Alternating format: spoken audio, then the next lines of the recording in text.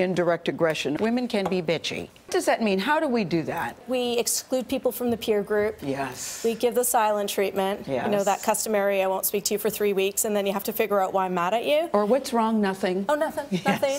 yes. Um, we'll spread rumors about the person, so we'll disparage their appearance.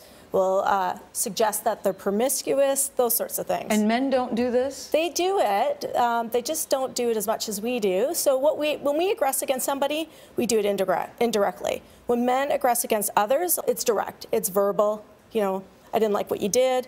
With us, uh, we don't say it so directly. So does indirect aggression ever work?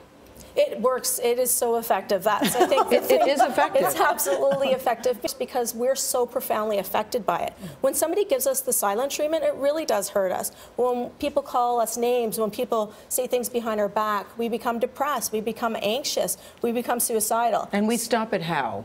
And we stop at how? By acknowledging it. To just accept that conflict is part of life, that sometimes you're going to say something that somebody doesn't like, and it's not the end of the world if they tell Right, you. right. Um, you know, that sort of thing. But we're so um, sensitive, and I think we need to toughen up a little bit. I think we need to toughen up a little bit. I think we need to toughen up a little bit. Indirect aggression. We're so profoundly affected by it.